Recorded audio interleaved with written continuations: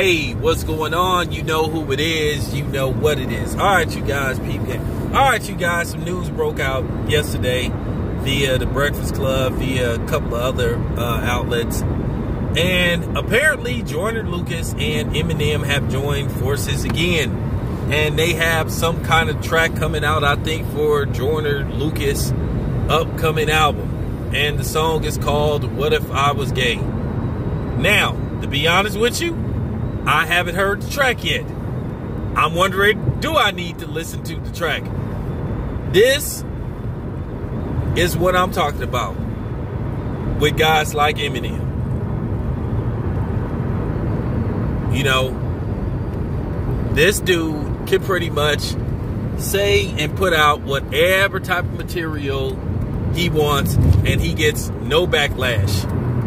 And then people have the audacity to claim this dude is the GOAT. He ain't the GOAT of nothing.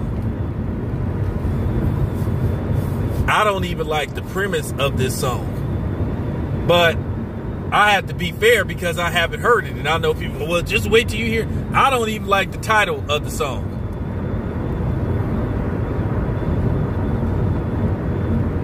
Even if this song comes out and they ain't talking about what I think they talk about, the very title alone is cringeworthy. But Eminem got a history of saying weirdo, suspect shit on his songs. For real. I'm just keeping it, I, am just keeping it 100. Maybe they trying to hit. That's what they are. Now, I'm not no Joyner Lucas uh, fan. That song, I'm Not a Racist, was overrated as fuck. Everybody was talking about that song like it was just like it was just a whoa moment in, in hip hop. I've heard better. Way better. Way better. But yeah, I haven't heard the song yet. Maybe when they put the song out, I'll listen to it and give a review of it. This your boy Town Biz.